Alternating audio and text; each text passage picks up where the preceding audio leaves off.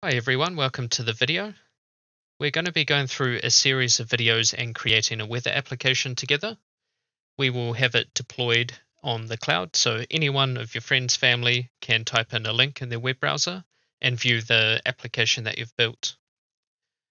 The skills that you'll practice are included here, so Python, Flask, and Jinja templates. We'll be using Heroku to host it online.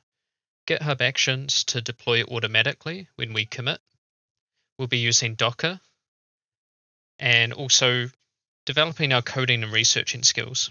I don't want to give you all of the answers and have a perfectly styled application with 300 different routes in a seven hour video. This is going to be a small launch pad just to get you exposed to these technologies.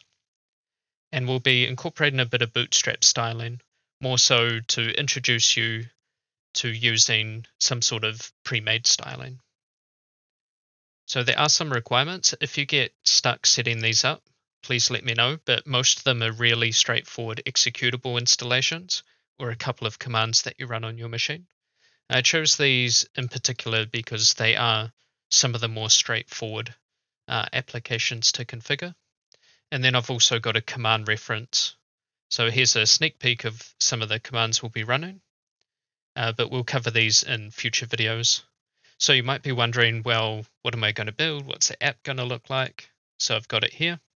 First page, very simple, just says hello world. That's the home page. The second page is going to show the current weather.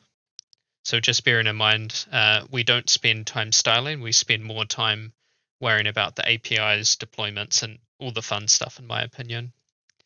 And then the last tab here, we're showing all of the forecast. So this is also some of the JSON data that you can use, you know, if you wish to add, say, the sunrise time or what it feels like, etc. Then we can click here, go back to the home page or the home tab. So I know this application might not be breathtaking, uh, but trust me, you're going to be learning a lot of different technologies and then in your own spare time, you can build this up, make it look pretty and see what the weather is. All right, I hope to see you in the next video. Let's get started.